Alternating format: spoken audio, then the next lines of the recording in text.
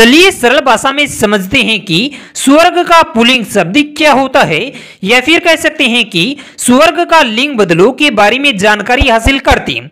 तो दोस्तों, वीडियो को लाइक करें, चैनल को सब्सक्राइब करें और बेल आइकन को दबा दें। आपको सबसे पहले बता देते हैं कि लिंग क्या होता है।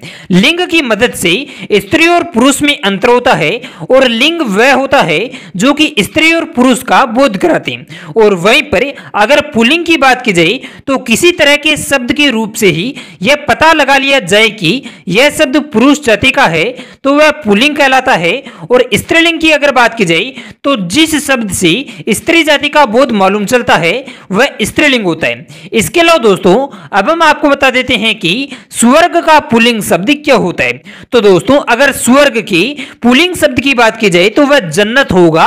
यानी दोस्तों, एक बार जरा ध्यान से सुनी कि स्वर्ग का पुलिंग शब्द जन्नत होता है और यहाँ पर स्वर्ग एक स्त्रीलिंग शब्द होता है और वहीं पर जन्नत एक पुलिंग शब्द होता है। इसके अलावा दोस्तों अब हम आपको बता देते हैं कि आकाशीय लोक या दिव्य लोक जो होता है, उसे स्वर्ग कहा जाता है और इसे हिंदू धर्म में एक अच्छा स्थान माना जाता है। इसके अलावा दोस्तों, जन्नत भी इसी स्वर्ग को कहा जाता है। इसके अलावा दोस्तों, अब हम आपको एक बार फिर से बता देते हैं कि स्वर्ग का पुलिंग शब्द क्या होता है। तो दोस्तों, अगर स्वर्ग के पुलिंग शब्द की बात की जाए तो वह जन्नत होगा यानी दोस्तों, एक बार जरा ध्यान से सुनी कि स्वर्ग का पुलिंग शब्द जन्नत होता है और यहाँ पर स्वर्ग एक स्त्रीलिंग शब्द होता है और वहीं पर जन्नत एक पुलिंग शब्द होता है। इसके अलावा दोस्तों, अगर आपको जानकारी अच्छी लगी, यानी दोस्तों, आपको स्वर्ग का पुलिंग शब्द वीडियो पसंद आया तो वीडियो को लाइक करें, चैनल को सब्सक्राइब करें और बेलाइकन को दबा दें।